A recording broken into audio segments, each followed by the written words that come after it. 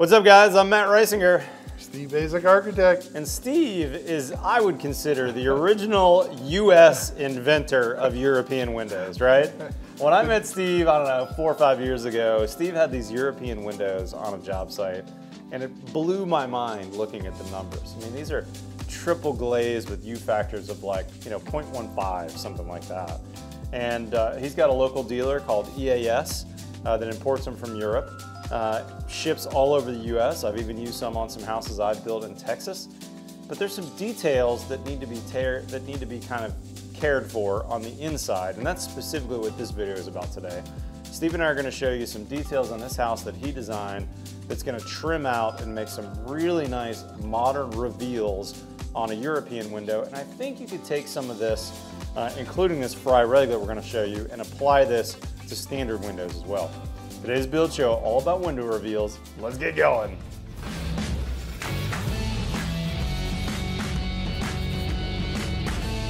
Build show friends, guess what? Exciting news. We're in the planning stages for a 2024 Build Show Live, our very first trade show conference event. I could really use your help though. Would you take this survey below?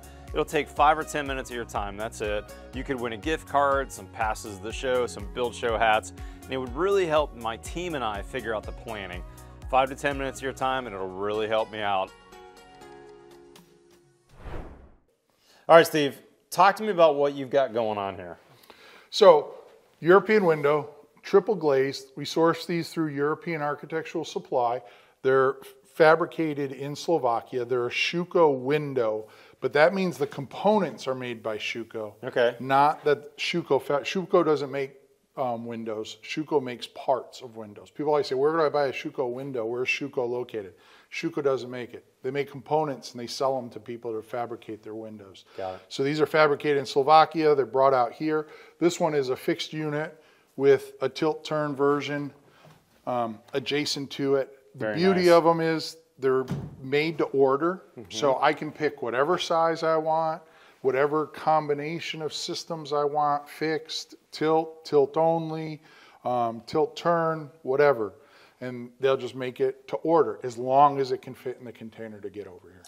Now, Steve, these windows are super efficient, um, but they do have a couple of difficulties, including a strap install. I'm going to use my Fry Reglet as a pointer here, but uh, you've seen these in a lot of our videos now. They have some straps. Steve's got a couple of great videos on how to bend the straps, how to install the windows.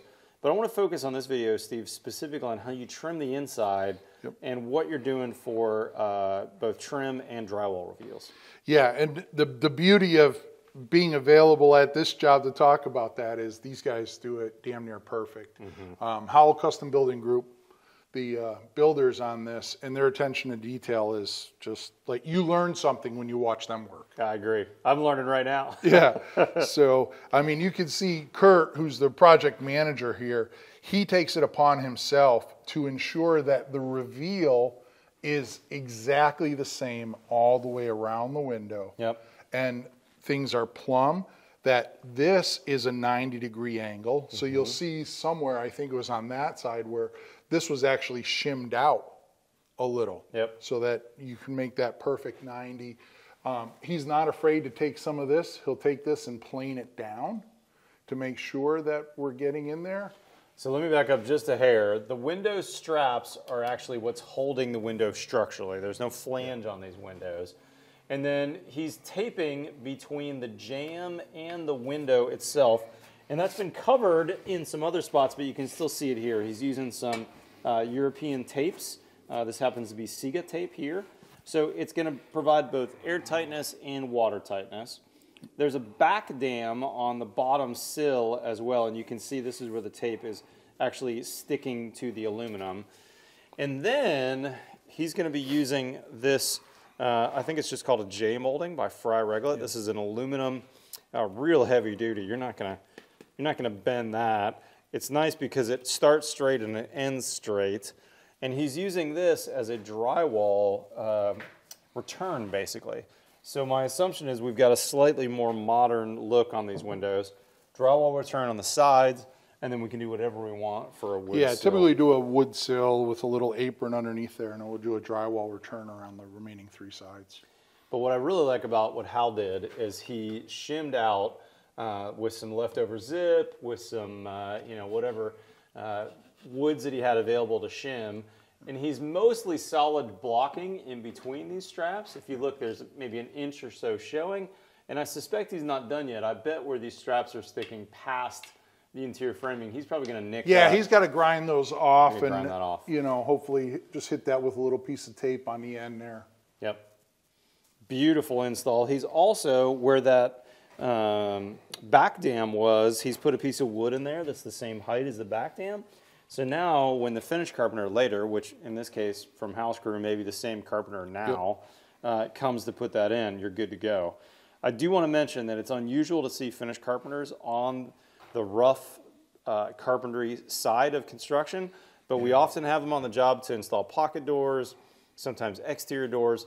No reason why you couldn't get your finish carpenters to come and do this as well, because they're setting themselves up for future success when they come and trim the window. I mean, Howell has their, their project manager on site. They're usually very talented guys. You met Brian when we did the Yeah, barn in the house. He's, right.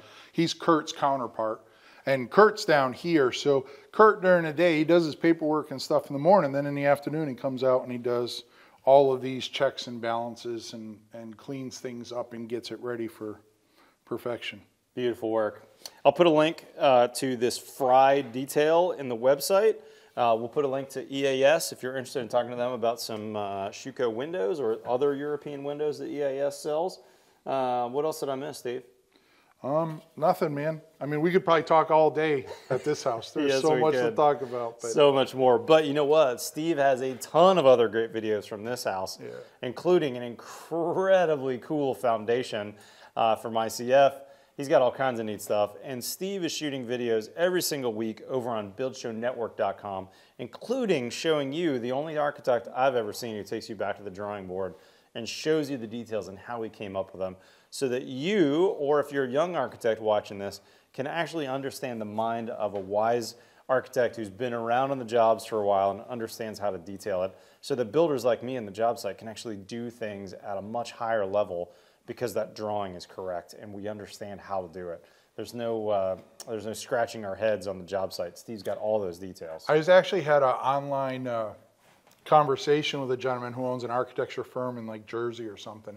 He's only got like four or five employees, but he makes all his younger employees watch every, weekly video. I love it. Because it, it is a good way to learn. I'm not saying it because I did it. I'm just saying I make my kids watch it because I sit there, I go through the details. You understand why this is in there. Why is there a back dam? What I is it love it. doing?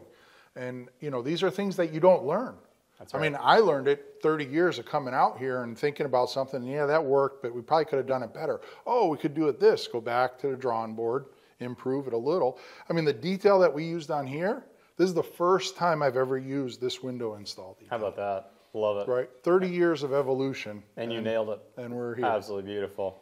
So- I'll put a link in the description to sign up for our newsletter so that once a week, actually twice a week, Tuesdays and Fridays, you'll get an email from my team that will say, hey, here's Steve's new video to watch uh, out on BuildShowNetwork.com. And by the way, check out his Build Show Build Boston series. He's chronicling the entire build, including all the architectural design, start to move in on the homeowner. On episode eight right now. That's over on YouTube and on BuildShowNetwork.com. Steve, how about we do the outro? You ready? You, I'm up. Follow us on TikTok or Instagram. Otherwise, we'll see you next time on the Build Show.